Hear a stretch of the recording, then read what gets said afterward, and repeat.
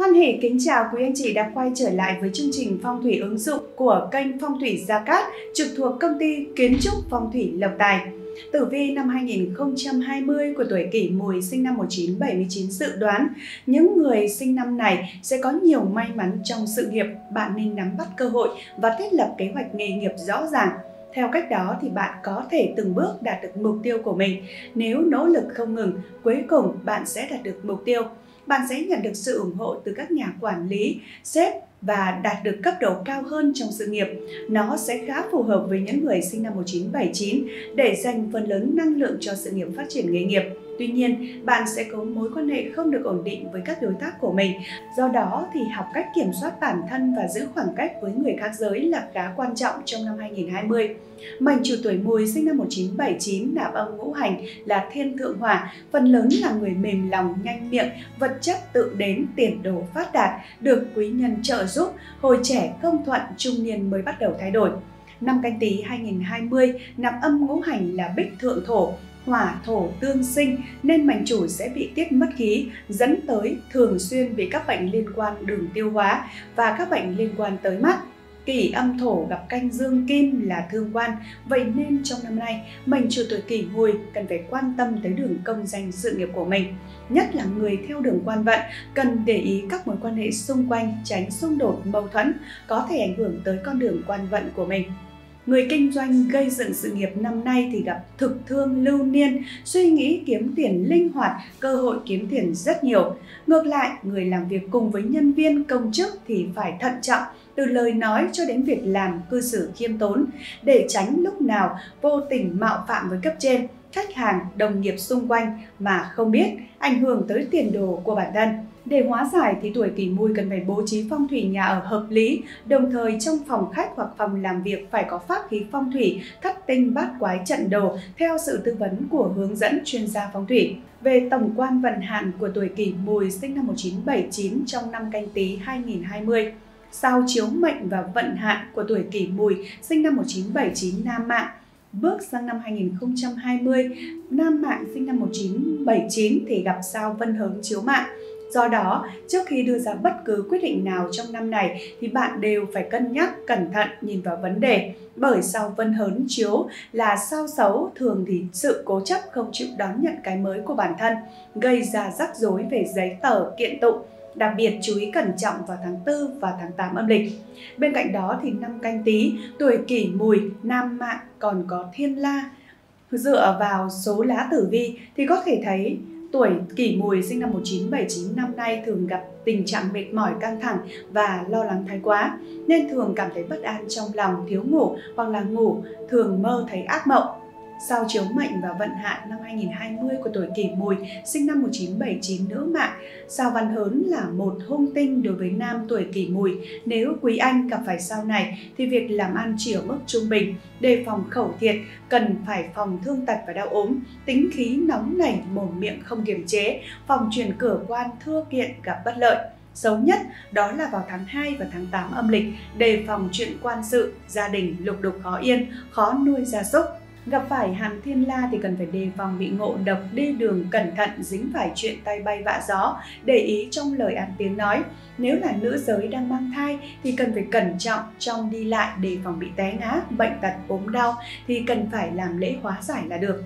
Phương án kích hoạt cùng tài lộc cho các gia chủ tuổi kỷ mùi sinh năm 1979. Phương án thứ nhất đó là tuyển chọn nhân sự cho cửa hàng, công ty. Tuổi theo tam hợp hóa ngũ phúc đó là hợi, mão, mùi hóa mộc vào các tháng dần, mão, hợi, tỵ tương ứng với các tháng 1, 2, 8 và 9 âm lịch. Nếu mệnh chủ có tiến hành hợp tác làm ăn với các mệnh chủ trong bộ tam hợp này thì cần phải chú ý những tháng trên nếu có thể tiến hành vào những tháng này thì rất hành thông thuận lợi may mắn. Và một số điều cần phải chú ý khi mà chọn tuổi trong bộ tam hợp là kết hợp với các mệnh chủ tuổi mão sẽ chọn ngày hoặc giờ là hợi và ngược lại nếu mệnh chủ tiến hành kết hợp làm ăn với những mệnh chủ tuổi hợi sẽ chọn ngày giờ là mão. Tuổi theo thiên can hóa ngũ phúc, giáp hợp với kỷ hóa thổ vào những tháng thìn, mùi, thân, dậu, tuất, hợi, tý, sửu. Tương ứng với đó sẽ là các tháng 3, 6, 7, 8, 9, 10, 11, 12 âm lịch.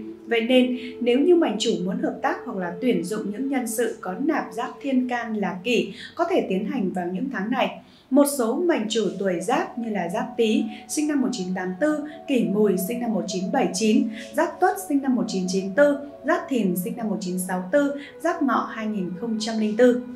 Tuổi thiên lộc Thiên lộc thì mang lại tài lộc may mắn về mặt tài chính, sự nghiệp và công danh. Vị trí tốt cho tuổi tài lộc có thể là đối tác, nhân viên lễ tân, nhân viên bảo vệ vợ con.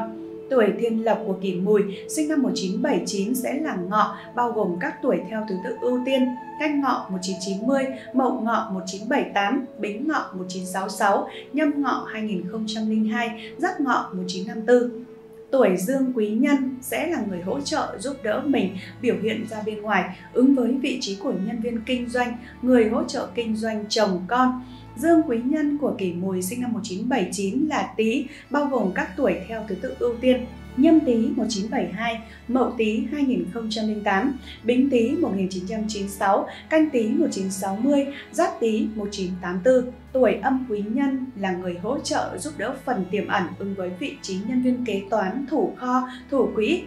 Âm quý nhân của kỷ mùi sinh năm 1979 sẽ là thân, bao gồm các tuổi theo thứ tự ưu tiên Canh Thân 1980, Bính Thân 1956, Giáp Thân 2004, Mậu Thân 1968, Nhâm Thân 1992.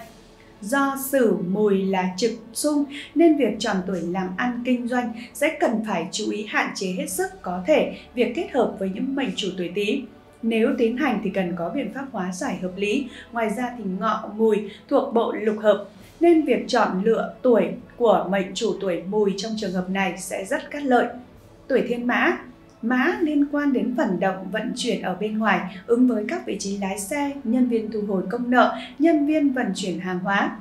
Tuổi thiên mã của kỷ mùi sinh năm 1979 sẽ là tỵ, bao gồm các tuổi theo thứ tự ưu tiên, đó là tân tỵ 2001, quý tỵ 1953, kỷ tỵ 1989, đinh tỵ 1977, ất tỵ 1965. Vị trí cung tài lộc và cung quý nhân trong trạch đất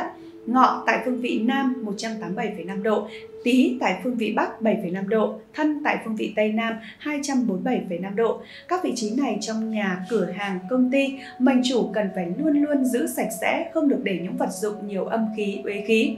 Có thể sử dụng thêm các vật phẩm phong thủy để chiêu mời quý nhân kích hoạt hòa hợp âm dương thiên địa nhân hợp nhất để bài trí an vị tại phương vị này trong văn phòng, nhà và cửa hàng của mình. Phương án tiếp theo đó là chọn hướng nhà, cửa hàng, văn phòng. Yếu tố quan trọng nhất trong việc chọn hướng nhà, văn phòng, cửa hàng để khai sơn lập hướng mới cần phải xét đến tuổi của trạch chủ, có phạm phải kim lâu, hoang ốc, tam tai và có hợp với trạch đất của nhà mình hay không. Xét đến Kim Lâu năm 2020 canh tí gia chủ 42 tuổi. Theo cách tính Kim Lâu từ trước tới nay thì trong năm này mệnh chủ sẽ phạm phải Kim Lâu. Năm 2020 canh tí gia chủ tuổi kỷ mùi, sinh năm 1979 sẽ là 42 tuổi nên sẽ phạm phải hoang ốc. Còn xét đến tam tai, nam mệnh gia chủ tuổi kỷ mùi cần tránh các năm tam tai đó là tỵ, ngọ, mùi. Năm nay là năm 2020, theo cách tính tam tai thì gia chủ sẽ không phạm phải tuổi đại kỵ tam tai. Vậy nên nếu có xây dựng mới thì gia chủ tuổi kỷ mùi nam mệnh năm nay sẽ không thể đứng ra tự động thổ cho trạch đất nhà mình. Nếu muốn bổ sơn vượng hướng để tiến hành xây dựng mới, mệnh chủ cần phải tiến hành tìm cách phù hợp với trạch đất, hợp với tuổi của mệnh chủ để tiến hành động thổ. Với nam màng kỷ mùi sinh năm 1979 sẽ thuộc cung chấn mộc, xét theo cung mệnh thuộc đông tứ mệnh. Vì vậy sẽ hợp với bốn hướng tốt của trạch đất đông tứ trạch, đó là hướng đông phục vị, bắc thiên y, đông nam diên niên, nam sinh khí. Ngoài ra, sẽ cần tránh bốn hướng xấu của Tây Tứ Trạch là Tây Nam họa hại, Tây tuyệt mệnh, Đông Bắc lục sát và Tây Bắc là ngũ quỷ. Đối với nữ mạng kỷ mùi sinh năm 1979 sẽ là cung chấn mộc, xét theo cung mệnh thuộc đông tứ mệnh. Vì vậy sẽ hợp với bốn hướng tốt đó là đông phục vị, bắc thiên y, đông nam diên niên, nam sinh khí. Ngoài ra cần tránh bốn hướng xấu đó là Tây Nam họa hại, Tây tuyệt mệnh, Đông Bắc lục sát, Tây Bắc ngũ quỷ xây nhà ở hoặc là kinh doanh trên những căn nhà phạm vào họa hại là sao lộc tồn, thuộc thổ, hướng tây nam, tự quái là khôn, phạm vào thì bị bi quan khẩu thiệt, hao tài tán lộc, bệnh tật, gặp phải tai nạn bất ngờ, dẫn tới tổn thương lớn, cơ thể suy yếu, dễ nản trí, cô độc, nghèo khổ, nên xấu vô cùng xây nhà ở hoặc là kinh doanh trong căn nhà không hợp hướng, bị phạm vào ngũ quỷ, mà ngũ quỷ là sao liêm trinh thuộc hỏa tượng quái là ly, chủ về nóng nảy, nhiều tai họa bất ngờ, tranh chấp kiện tụng, con cái khó dạy, bị hỏa hoạn, bệnh tật, khẩu thiệt, hao mòn ruộng vườn, gia súc, tán thải tán lộc tổn hại nhân định. Hơn nữa nếu cố tình bất chấp xây dựng sẽ cực kỳ nguy hại cho bản thân xây nhà ở hoặc là kinh doanh trên những căn nhà không hợp hướng, bị phạm vào tuyệt mệnh, mà tuyệt mệnh là sao phá quân thuộc kim tượng quái là đoài. Phạm cung tuyệt mạng có thể bị tuyệt tự tổn hại con cái. Không sống lâu, dễ bị tiểu nhân quấy phá, nhiều khó khăn, dễ tai nạn, dẫn tới mất sức lao động. Lắm bệnh tật, con cái thì kém cỏi, dễ có chuyện thị phi, mắc bệnh khó chữa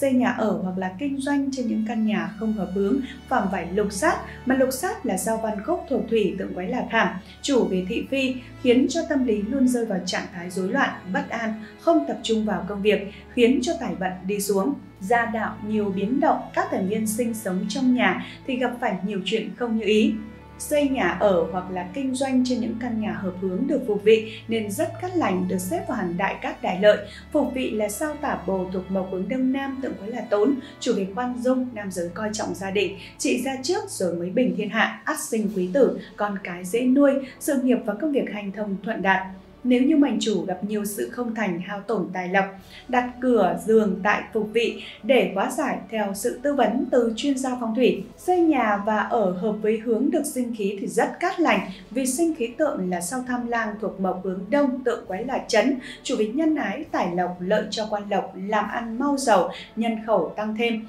khách hứa tới đông, lợi cho đàn ông giúp người ta có sinh khí tích cực hướng lên, tượng trưng cho các tường và thuận lợi. Hướng này rất phù hợp cho các gia chủ theo đuổi sự nghiệp kinh doanh, tiến hành mở cửa hàng công ty, nhà hàng. Xây nhà ở hoặc là kinh doanh trên những căn nhà hướng được diên niên là sao vũ khúc thuộc kim hướng Tây Bắc tượng quái là càn, chủ về hòa thuận, lợi về quan hệ xã giao, vợ chồng hòa thuận, hôn nhân dễ thành, nhiều phúc lộc, trung phú, sống lâu, của cải, vợ chồng vui vẻ, nhân khẩu, lục xúc đại vượng. Đây là hướng đẹp phù hợp với mệnh chủ xây nhà ở hoặc là kinh doanh trên những căn nhà hướng được thiên y thuộc sao cự môn thổ chủ quản tại hướng đông bắc tượng quái là cấn, chủ về sức khỏe, giàu có ngàn vàng, không tật bệnh, nhân khẩu, ruộng vườn, xúc vật đại vượng, khoảng một năm có của, vượng tài phát lộc, lợi cho phụ nữ, tính cách khoan dung, nhường nhịn, dễ được quý nhân giúp đỡ. Mệnh chủ tuổi kỷ mùi sinh năm 1979 sẽ cần phải chú ý chọn được cho mình các hướng nhà, hướng cửa hàng